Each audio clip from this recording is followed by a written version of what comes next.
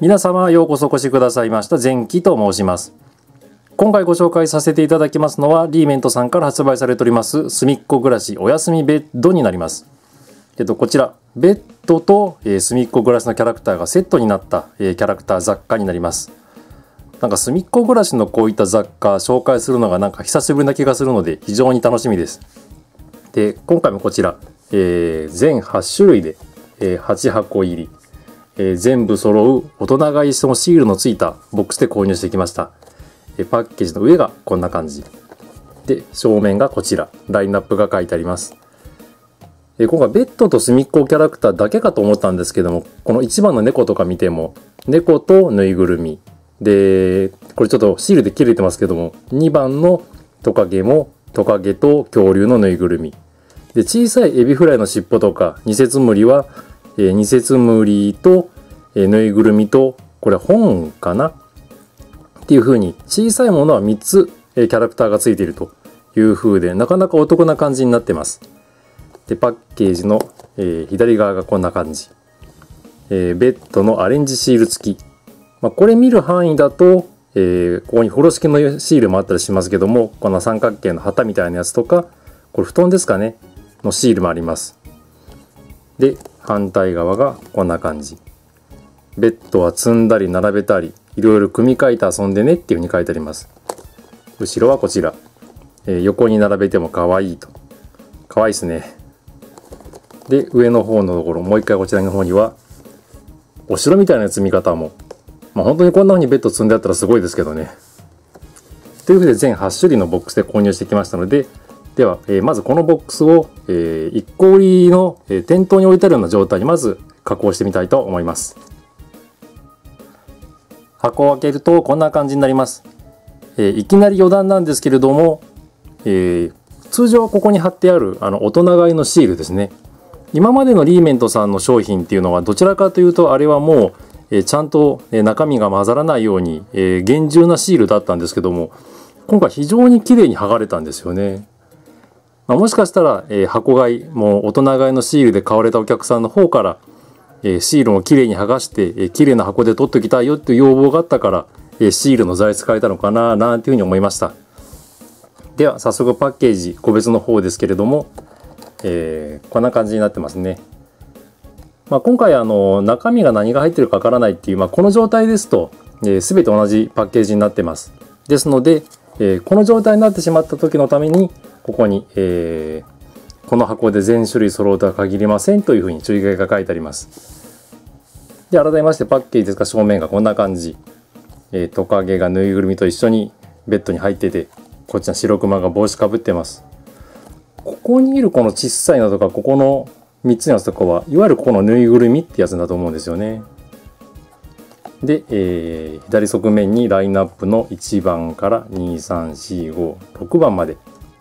で、反対側が7番と8番。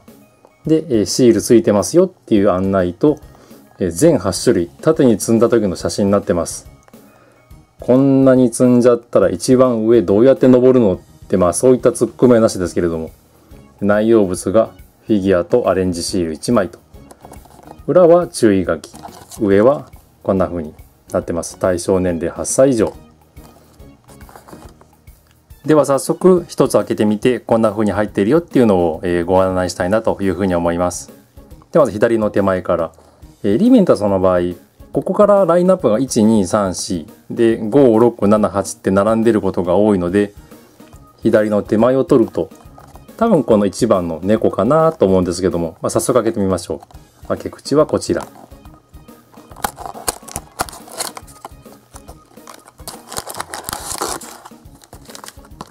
と中身はまずこれがアレンジシールですね。これさっきあの外箱に書いてあったのとは違うんで多分それぞれのキャラクターによってきっと違うんですよね、まあ、この布団の色とか、まあ、猫まあ猫でしたけども猫なのでこの猫の足跡みたいなシール。あとお魚とかありますね。これはもしかして爪で引っかいた跡か何か爪研ぎの跡ですかねこれあ、書いてある猫と、猫草とか雑草もいます。これティッシュの絵ですね。で、中身の方がこちら。えー、ピンクのベッドと猫これ何持ってるんだろう？ベッドだからあ毛づくろい用のブラシですかね。ベッドの上でやるんですかね。でこれがえ帽子とちっちゃい猫ぬいぐるみってとこですかね。猫はこんな感じ。では他のも一気に上げて、え全8種類。まずは一気にご覧いただきたいと思います。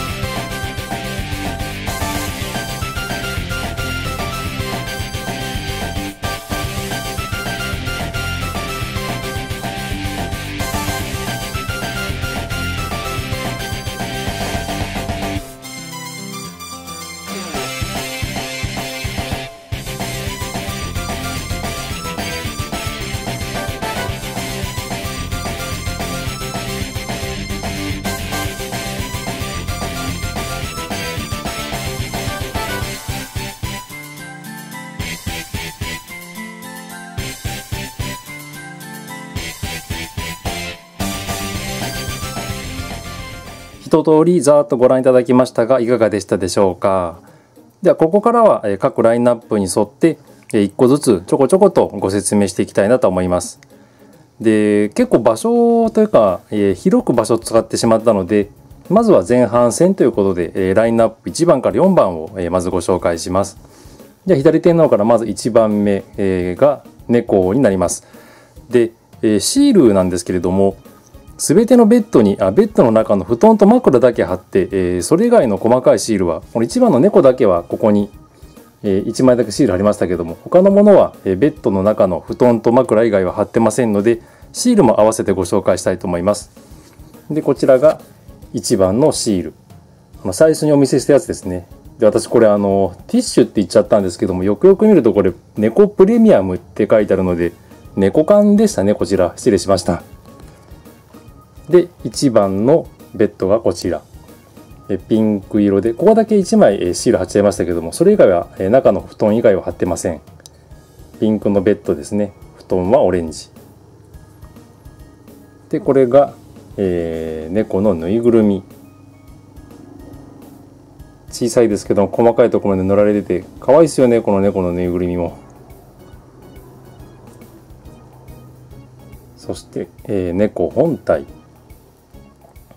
このナイトキャップのところは取れます。内側にこの耳がはまる穴があるもんですからここにスポッとはまります。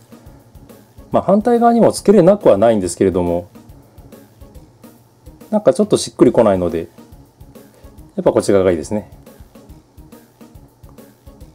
手には毛づくろいと思われるブラシ。背中はこんな感じ。続きまして2番。トカゲがこちら。まずシールですけども、えここがあの枕と布団の部分ですね。それ以外のシールはこんな感じになってます。ほこりとか。なこれタピオカですかねなんか恐竜のぬい着ぐるみ着てますけども。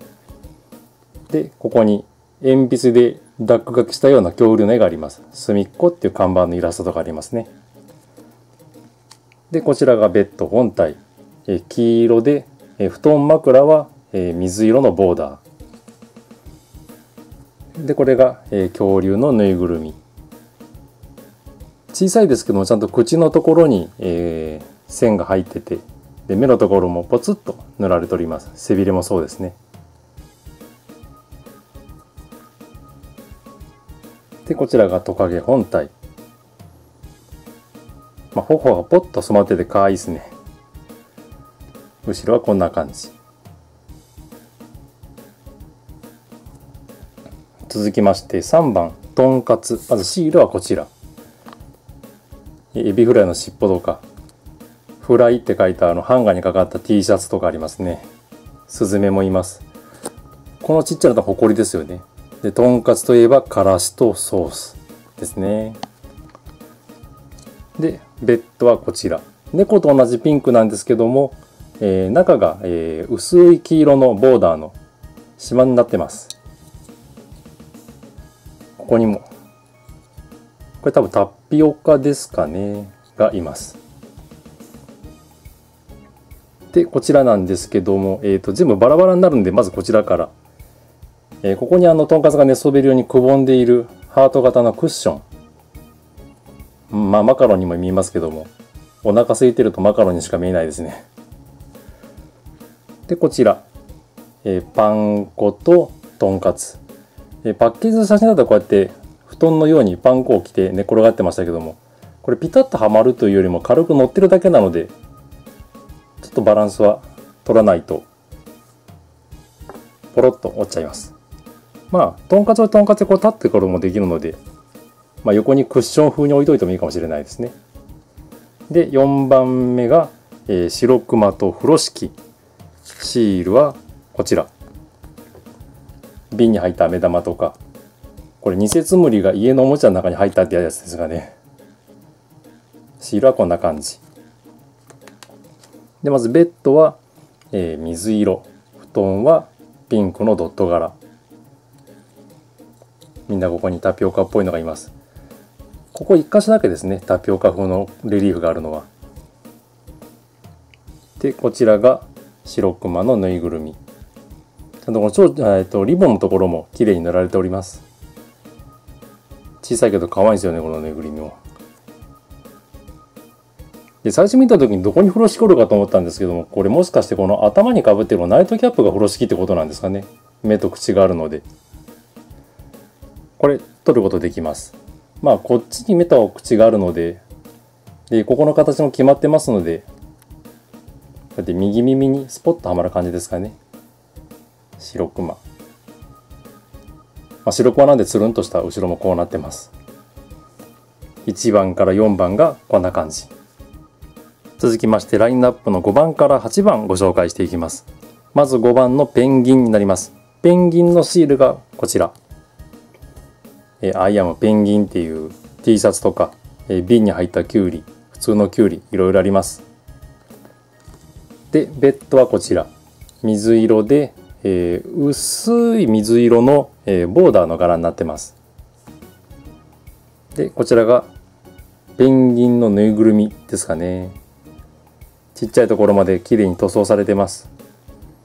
でたまたま私が買ったのだけだと思うんですけどもこのぬいぐるみだけがあの単独でうまく座らせることができません。なんかどうしても転んでしまうのでまあ寝かしておきますか。でこれがペンギン本体。他の隅っこキャラクターえ立たせることができるんですけども、このペンギンだけはこんな感じでグデーンってなってます。そして妙に大きいです。他のに比べると。続きまして、6番、ペンギン本物がこちら。まずシールはこちらですね。うーん。これってあのタピオカがクリオネのぬいぐるみ、着ぐるみ着てるってやつですかね。で、これ偽つむり。なんかアイスキャンディーの発酵とか入れ物乗っけてますけども、もう2節目に何でもありですねこうなってくると。そしてベッドはこちら。ピンク色でえ布団の柄はこれ魚の絵になってますね。でこちらが、えー、魚の多分クッション。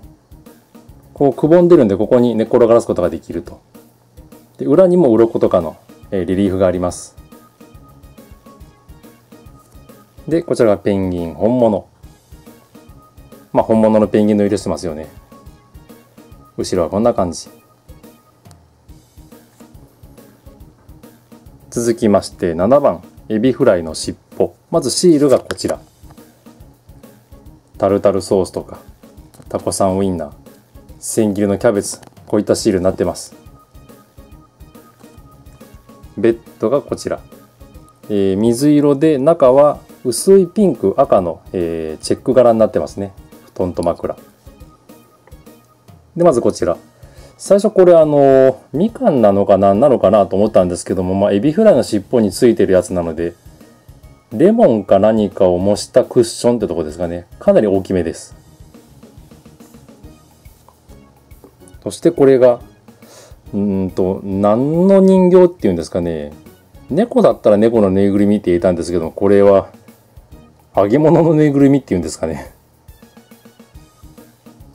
色は綺麗に塗られてます。そしてどうでもいいことですが私が一番好きなキャラクターエビフライの尻尾。いいですね。この尻尾の部分がリボンっぽく見えて可愛いんですよね。いつもとんかつとペアでいることが多いんですけどこうやって単独でエビフライの尻尾って商品があるとちょっと嬉しいです。そして最後8番。二節無理まずシールがこちら。お化けとか。まあこれ二節無理の他のあの殻の部分ってとこなんですかね。でここにタピオカがこれあリボンなんですね。電車ごっこかと思ったんですけどなんかリボンで連なっております。でベッドがこちら。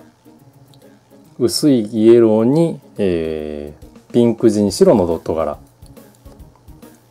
でこちらまず一緒に入ってた本ですね。こちらにすみっこ暮らしトカゲって書いてます。で、こちらにトカゲのお母さんって書いてあるんですけども、いや、トカゲじゃないだろうっていうツッコミはしないでおきましょう。で、これがトカゲのぬいぐるみってとこですかね。まあ実際はあの、まあ言わないでおきましょう。そして二節無理。なんかピンク色のこれ何なんですかね。ここに縫い目っぽいのがあるので、まあ、今回ベッドなのでピンクのクッションを空にしている二節無理出たことですかね。以上が全8種類のラインナップになります。で各ラインナップ順にベッドを並べてみました。えそれぞれの隅っこキャラクターたちには後ろでちょっと見守ってもらいながらえこのベッドの方で、えちょっといろんな方に組み合わせて積んでみようかなっていうふうに思います。えラインナップ上だとちょっと分かりにくいんですけども、こうすると、えピンクが3つ、で、水色が3つ、え黄色が2つというふうな、え内容だっていうのが分かりますので、ではまず、お城みたいなのをやってみますかね。最初にあったやつですけども。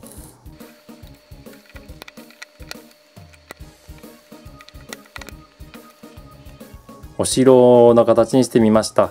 まあ、お城は使うのが6個なので余った2個は両側に置いて城壁みたいな感じにしてちょっと豪華にしてみました。で、今このベッドが、横に並んでますけども向きを変えてつなぐこともできますので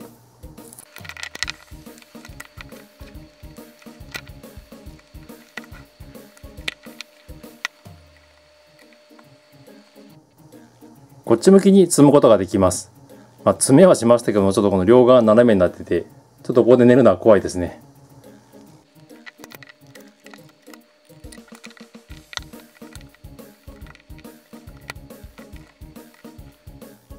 そして最後は縦に8段。ちょっと入りきらないんで手で持って斜めになってますけれども。